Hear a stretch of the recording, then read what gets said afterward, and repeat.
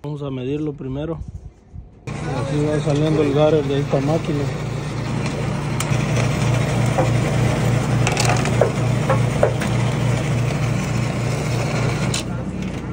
La medida que quieramos. Así es como salen de largos. Podemos hacer garrets de hasta 100 pies de largo.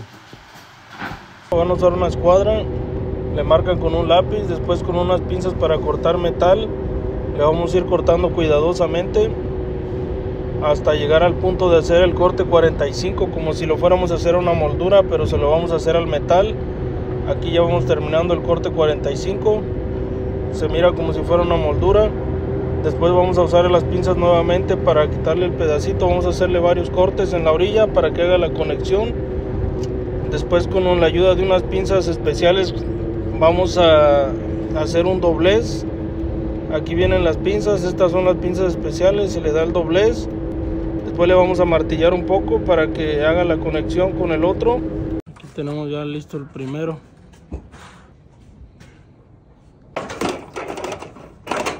Se, pues, se pone una esquina.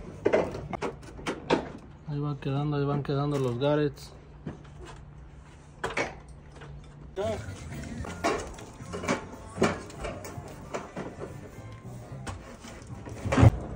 ahí vamos, ahí vamos, ahí va quedando, ahí va quedando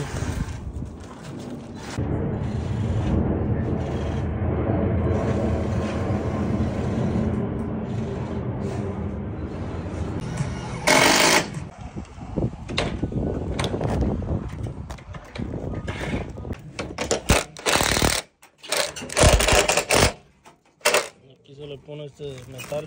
Estamos tirando corazón de él. Estos metales se ponen para darle más soporte al, al garter para que no se mueva.